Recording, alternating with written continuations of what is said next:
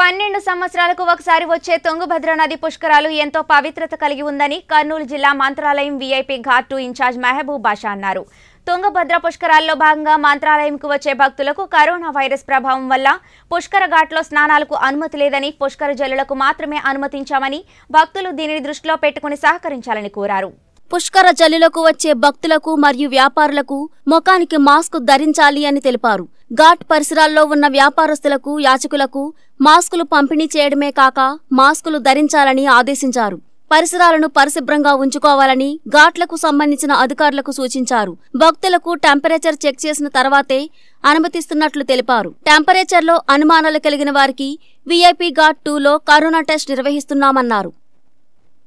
ఆరోగ్యపరంగా మీరు ఎలాంటి చేపడుతున్నారు సార్? భక్తులు. ఆరోగ్యపరంగా వచ్చే భక్తులపై వాళ్ళకి ఎలాంటి సూచన ఇస్తారు? ఏం లేదు. ఎంట్రన్స్లోనే వాళ్ళకి గన్తో చెక్ చేస్తారు. అక్కడ ఏదన్నా ఎక్కువ టెంపరేచర్ ఉంటే అక్కడ నుంచి మన కోవిడ్ టెస్ట్కి తీసుకెళ్తారు. ల్యాబ్ టెక్నీషియన్స్ ఉన్నారు టెంట్లో హార్ట్ టూలో. వాళ్ళకి పదహైదు నిమిషాల్లో పాజిటివ్గా నెగిటివ్గా తెలిసిపోతుంది.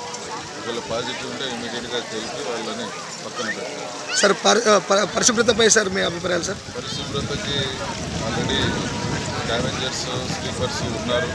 దానికి ఇన్ఛార్జ్ ఒక ఆఫీసర్ ఉన్నాడు. ఇది ప్రతిరోజు టెలికాన్ఫరెన్స్లో కలెక్టర్ గారు జాయింట్ కలెక్టర్ గారు దీని గురించి ఇరవై మూడు ఘాట్లలో ఏమేమి జరుగుతుంది అని ప్రతి సబ్జెక్ట్ ఇందులో ఉన్న తొమ్మిది పది పనులు చేసే డిపార్ట్మెంట్లతో మాట్లాడడం జరుగుతుంది.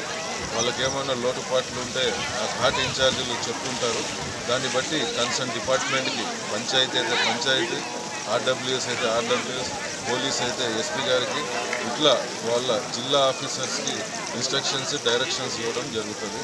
ఇంతవరకు ఎక్కడ ఏ ఎటువంటి చిన్న పొరపాట్లు తేడాలు ఇబ్బందులు లేవు. చక్కగా జరుగుతుంది.